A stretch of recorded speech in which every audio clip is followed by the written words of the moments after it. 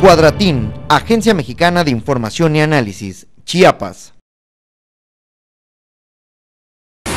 Carlos Martínez López Pérez, secretario del Consejo Estatal de Discapacitados, exigió a las autoridades estatales y municipales que en todas las remodelaciones que están haciendo en las calles que se preocupen de dejar las rampas con las especificaciones y medidas de una pendiente mínima de 6 grados y un metro de ancho para dignificar a los minusválidos. Explicó que otro de los problemas que también enfrentan las personas con capacidades diferentes son las alcantarillas que están realizando con aberturas más grandes y las sillas de ruedas al circular se hunden por lo que ponen en riesgo a las decenas de personas que salen diariamente a las calles.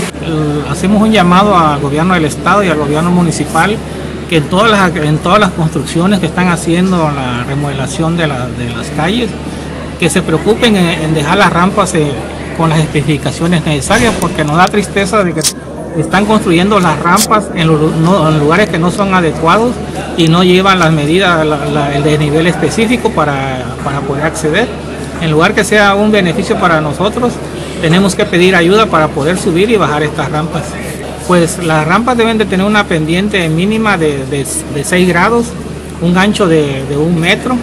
y buscarle la,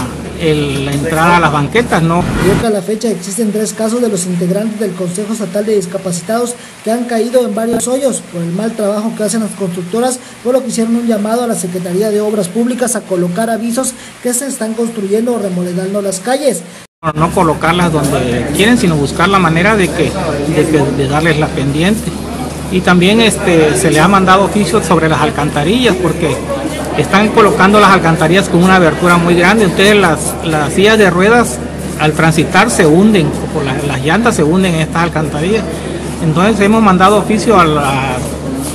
a obras públicas de aquí, del municipio, pero todo el tiempo nos dicen que lo van a ver, lo van a ver, pero entonces hacemos este llamado de que todas las obras que se están haciendo en el ayuntamiento tengan las especificaciones, ya no es porque nos hagan un favor, sino es una norma oficial mexicana que todas las construcciones deben de tener estas especificaciones. Y si no, pues no dar el permiso, si no quieren construir la, la rampa, no dar el permiso a las constructoras que lo están haciendo. Para Cuadratín Chiapas, Juan del Blanco.